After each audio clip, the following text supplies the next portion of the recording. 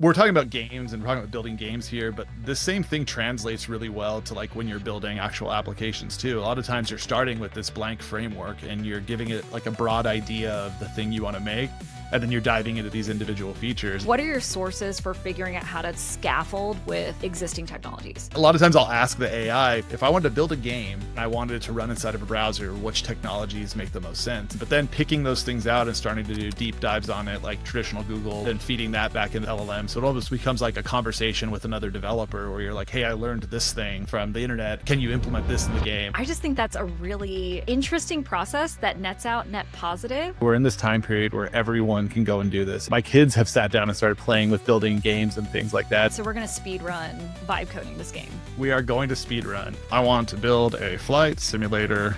I want turning to bank the plane and arrow keys to control pitch.